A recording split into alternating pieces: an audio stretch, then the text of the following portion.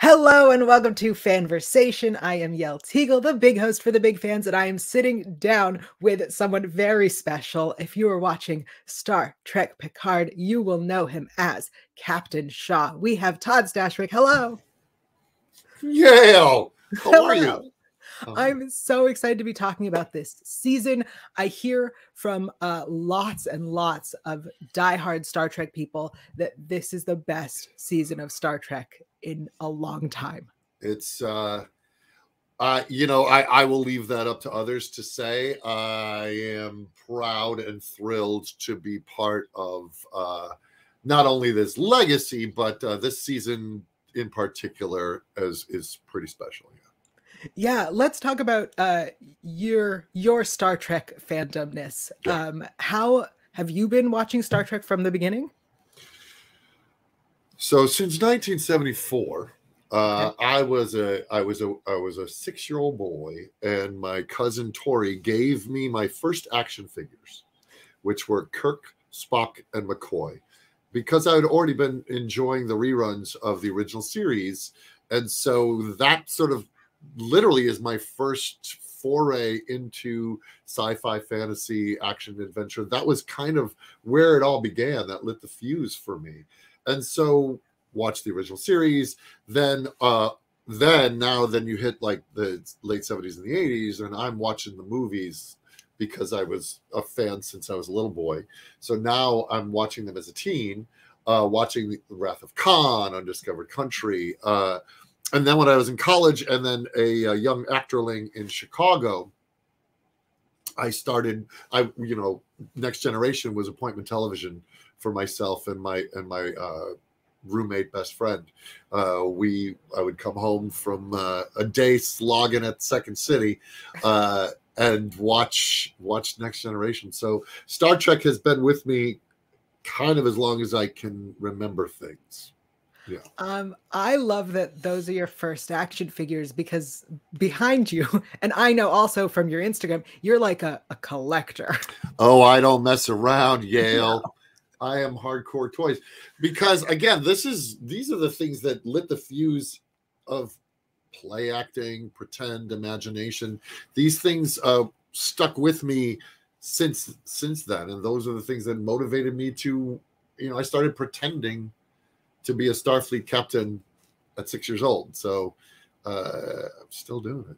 Yet now you you get to be one. I get to be one. Yeah. Had a lot of practice. That's amazing. Um, Yeah. so we meet in this in the in the season premiere. We meet Captain Liam Shaw. He's captain of the USS Titan. Um, that's Yep. you. Um, I gotta ask this because I found this quite amusing. He's kind of a dick, and you. We've talked about this before. That like you are no no stranger to playing bullies and and assholes and like really mean people. Um, Captain But- James T. Jerk. Come on. um, but you got to be I, an uh, asshole to to Patrick Stewart. yeah. Yeah. I uh, I have, as we say in the business, resting villain face. Mm. Uh, I also gravitate towards characters that um, you just don't like on the onset. And I love the idea of trying to make those characters sympathetic and trying to find the humor in them and then hopefully surprising and changing your mind. And and and then you step back and go oh i understand why he does what he does and why he is who he is. And i kind of sympathize for him and i kind of think he's right in many ways. Um and hopefully always uh always just a fun person to have around um, was it really fun to be rude to Sir Patrick Stewart?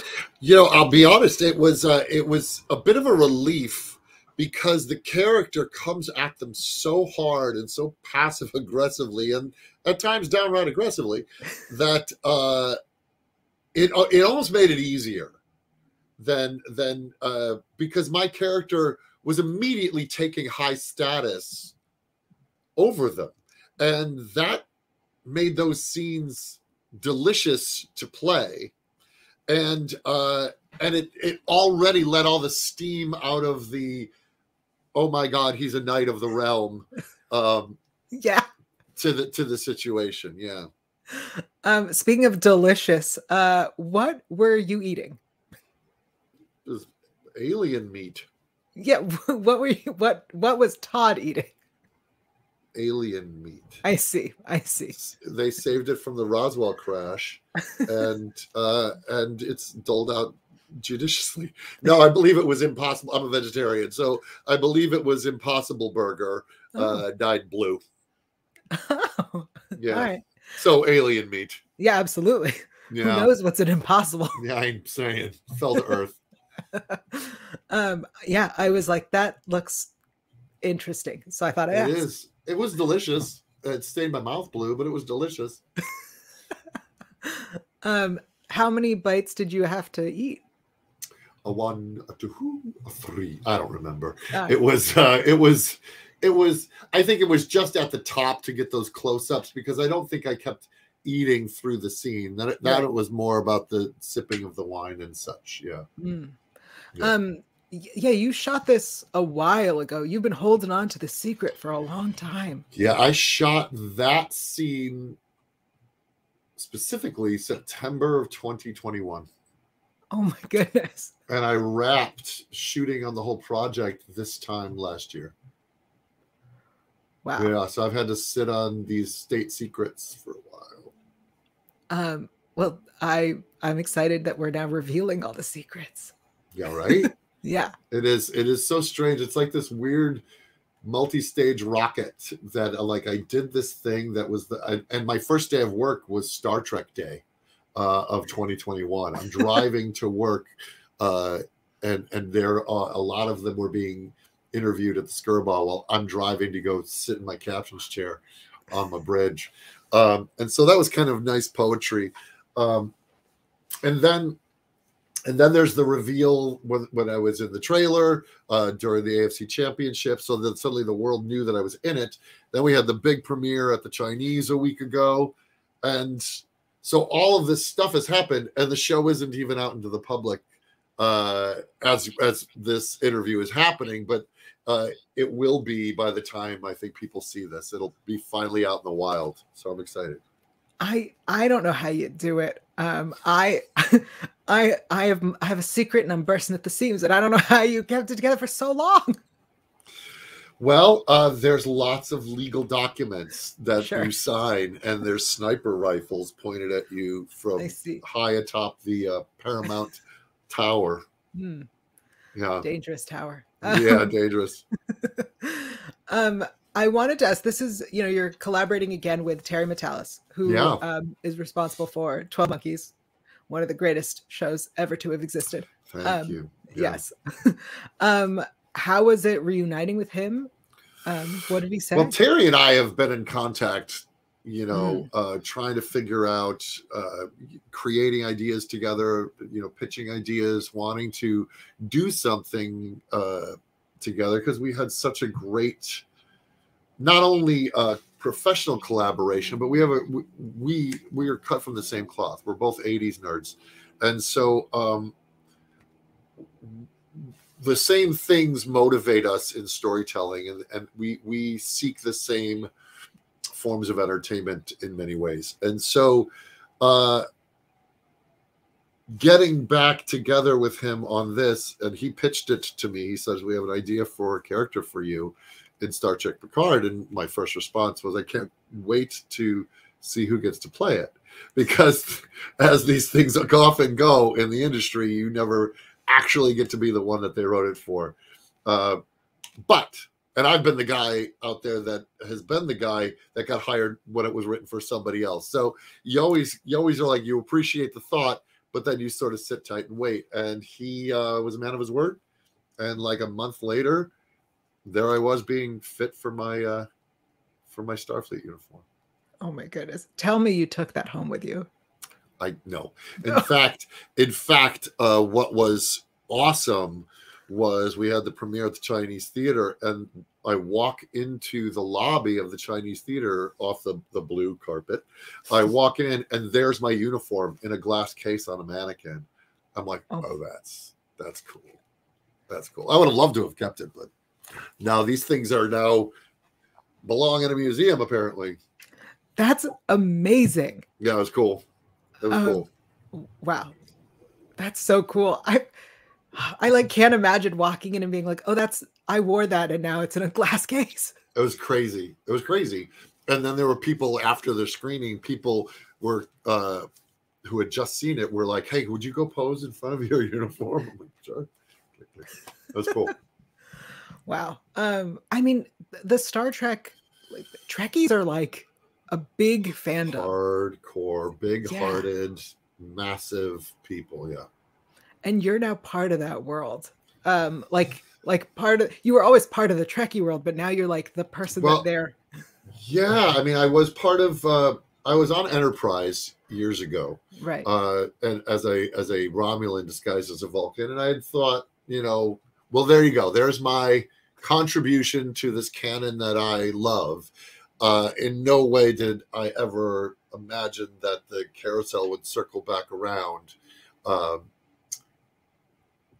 and I would be sitting there in my uh, captain's chair, uh, giving orders, hurtling through space. so cool. So yeah, cool. that's cool. It's cool. Um, so I want to compare this character for a second to a beloved character, Deacon, um, Yeah. because I feel like they are very similar.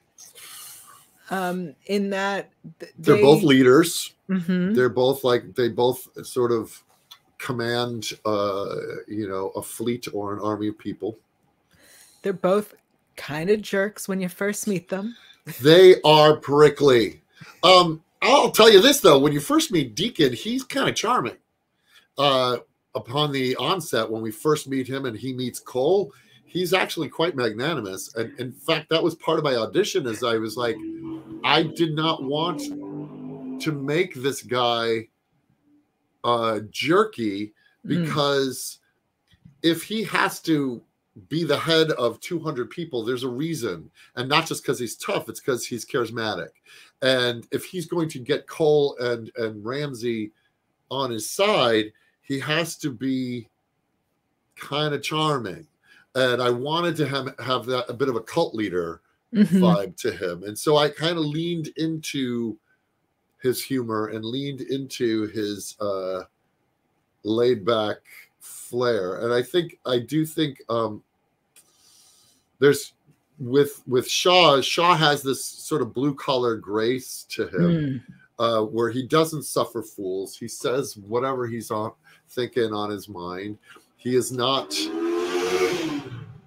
there- there's a police chase going on outside of my uh, nerd lair.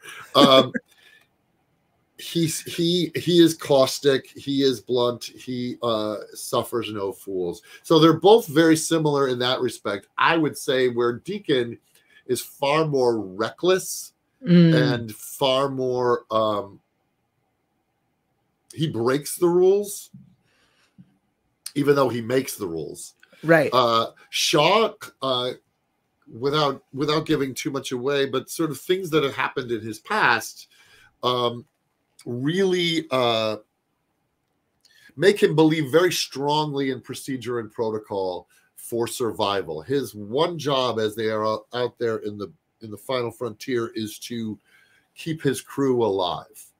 That is his primary job. Keep the ship running keep the explorations uh, on on uh, target and keep everybody alive. And so i think he is far more risk averse than deacon is. Oh, for sure.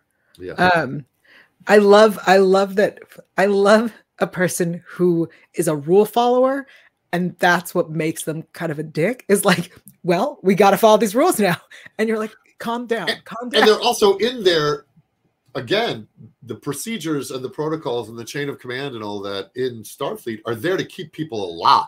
Right. So and he again for reasons has a very very strong need to keep people alive Mhm. uh it's it's it's buried in his uh in his you know i'll say uh, deep trauma uh he's he is hell-bent on sticking to protocol to keep people alive. And he also does the right thing. And he will he will bend the rules Hmm. if he if he has all the information he needs he needs to know what's going on and so much is kept from him uh uh when we first meet him and so he's like screw that i'm not doing that i'm not doing that i'm not doing that i'm not doing that so uh so you're on my ship i make the rules on my ship i am the bottom line Yeah. I love that. I like that so much is kept from him, and currently so much is kept from us. well there's the fun in storytelling it's like i don't want to tell you what's in the present before you open it I know. I'm so impatient. I cannot wait to see more. Um, uh, so I have to ask. I know that one of the things you love to do is make nerd-inspired uh, geekware for the Nerd Circus, inspired by things that you're on. Um, can we expect some cool Star Trek inspired nerdware on the Nerd Circus? I I I'm not gonna rule out uh uh stuff that is kind of winky and maybe parody-ish Mhm. of he said to cover legal terms. Sure, of um, course. Uh, That's, that's what I meant. Parody living stuff. within the realm of uh yeah i mean of course I, I i certainly would love to create stuff to celebrate um this fandom because you know i've done stuff for 12 monkeys and the originals inspired uh Mhm. stuff on the site that it would just stand to reason that now that uh i've i have my hands uh in this world that i would love to do a little uh a little tip of the tip of the fedora I'm excited. Um, Mhm. I, I'm sure I've told you many a times, but my Thai Monkeys shirt is literally my favorite T-shirt. It's this almost fourth today It's the softest material. It's good so stuff. comfortable. good stuff Um, so yes, I really hope that there is a nodding I, at. I wouldn't rule it out right. i wouldn't rule it out Um, and people can check everything that is currently available at thenerdcircus.com. Mhm. there will be a link below this interview.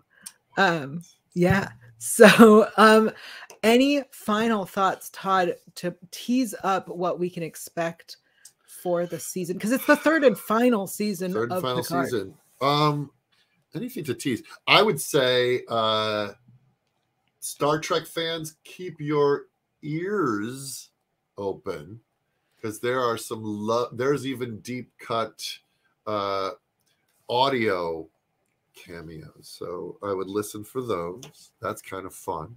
Okay. um it is it is a like like 12 monkeys uh though it is a finely crafted tapestry woven with lovely uh and necessary nods to the past they're they're building a future they're building a, a current story based on the history of the franchise not just not just Star Trek Next Generation. There is Voyager, Deep Space Nine, nods to the original series. It's all it's all in here. I like the the vibe. It has a Wrath of Khan, uh, undiscovered country vibe to it, giving it that big movie treatment. It's a ten hour movie, and I think it, it's filled with heart and action, adventure, mystery, all of the things why we uh, pop popcorn people.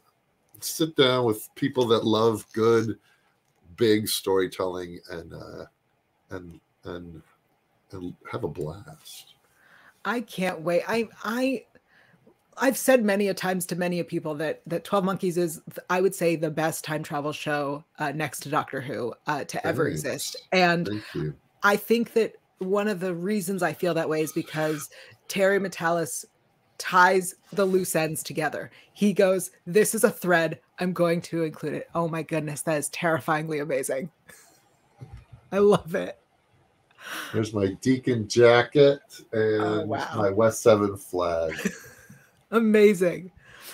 Um, but and the I, word of the witness yeah, that's Yeah. that's so scary that you've It's got pretty fun. witness stuff. i Um, got witness stuff but but Terry ties everything together so beautifully. He does not Yeah, let I mean, anything fall. there is no there's no crumbs right so uh we have a fantastic writers room on uh on 12 monkeys and they you know yarn boarded everything and so it all made it. it, it it's like a, like a dare I say a watch. Like the gears are so tightly together, and you know, in addition to uh, to Terry, our writers' room on Picard uh, had several Twelve Monkeys writers as well, uh, and then and then other writers that were not from Twelve Monkeys, but that same care mm-hmm. uh, and understanding that we have 10 episodes to tell a story. So let's start, let's like build the mystery and put it together so that it all lands perfectly and and hopefully satisfying thread that were started in the next generation TV series. So and and uh pulling it all together in that way mm-hmm. that Terry and, and the writers do. Uh, yeah. So if you if you did like Twelve Monkeys, there's uh, there's even some winks at Twelve Monkeys in this uh, in this in this that. series. I I have full faith in this uh, writing team to to bring it all home. So good, they're so good. It's it's unbelievable. We got these scripts and it was just like I couldn't wait to read the next one. Uh, I have not seen all of the episodes yet. I've seen the first four, and then I've seen chunks of the later ones. But if if uh, if the first four are any indication, it's just gorgeous, and it's shot beautifully. Every penny is on the screen. It's just gorgeous. Yeah. Well, I cannot wait. Uh, as a reminder for everybody, Star Trek Picard season three, the third and final season, Thursdays on Paramount. You need an N in Paramount. Oh well, I'll redo it. Said, it. it said Paramount. I knew it was wrong. There it is. there we go. Paramount. Zoom. We did it. Magic of technology, Yael. um, thank you, thank you so much, Todd. If people want to keep up with you on social media and check out the Nerd Circus, where are you on the internet? I am at Todd Stashwick on the Twitter, T Stashwick on the Instagram, and you can go to the nerdcircus.com. And if you are to Dungeons and Dragons, I wrote a uh, uh, I wrote a tiki drink cocktail book uh, with sort of a Dungeons and Dragons uh, feel. Uh, I sell glasses and t-shirts and nerdy fun dice and all that. Yep, all the stuff. cool stuff. It was it was my lockdown project during the height of uh, of the pandemic. That's how I kept my idle hands busy. I it was a very successful project. Thanks. Thank you. Thank you. Yeah. I mean, I had a great collaborator with Brendan Cleeley, former Imagineer, uh, and then the guy that wrote all of our uh, our cocktails, uh, uh Roy. He uh, he is a bartender at uh, Trader Sam's at Disney. So mm-hmm. it's all legit. David Nett did uh, a lot of the D and D components. I mean, it was just a labor of love. So I highly recommend people grabbing that. Very cool. Um, and of course, you can get the Tie Monkeys T-shirt, which is the softest T-shirt ever in existence. So good. I, and then there's a Deacon shirt there, and I think I got a little Winky Supernatural Dracula shirt there, and yeah, there's lots of good stuff. Of, all sorts of fun. Yep. Um, I am everywhere at Yael Tygiel. That is why A E L T Y G I E L. Uh, you can find me here on Fanversation talking about Law and Order SVU, the greatest show of all time. Um, and uh, of course, I did that a couple times. Yeah, you were on two episodes of SVU. I was. Um, you played the Measuring Man in season one, episode three. and you were in. Um, uh, uh, I was a prison guard in another time. Yeah. Yep. Um, amazing. I love that you know that. Uh, thank you, everybody. We'll see you next time. Bye.